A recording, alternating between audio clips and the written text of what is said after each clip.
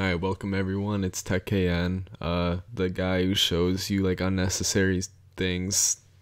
And today we're just gonna be looking at Internet Explorer and can you run it in 2024? Let's see. No.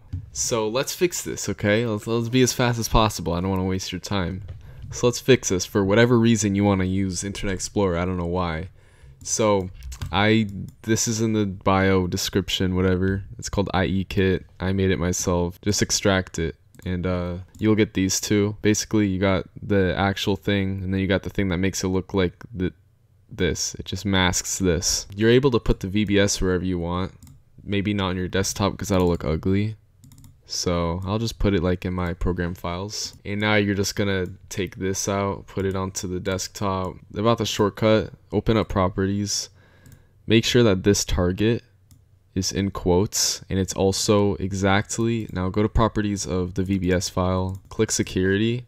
Make sure that this matches exactly what the target says or else the shortcut just won't work.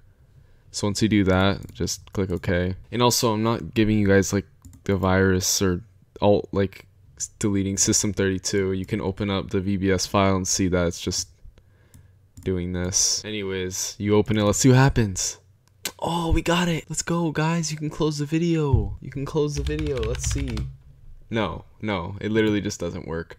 Now why doesn't it work? Well, there's a reason why. It's because there's an extension that just forces you to go to Edge because Microsoft's like that, you know. So now what you got to do is a little more technical. Just just do exactly what I do, so you don't break your PC somehow.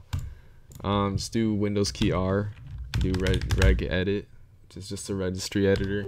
You have to have your mommy's permission to get in here because it's administrator rights. Uh, but here, just go to H key local machine uh, and then software, and then you go to Microsoft, find Windows, straight up Windows, and then current version, policies, and then ext, which just means extension. All right, and you'll just see this right here because this is the only extension there and all you're just going to do is you're going to double click that and set the value to zero. And that just disables the the thing where it forces you to go to edge and that's it. Just make sure you only do this and nothing else.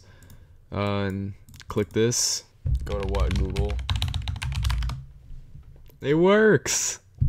Good job. You can use Internet Explorer in 2024 for literally no reason.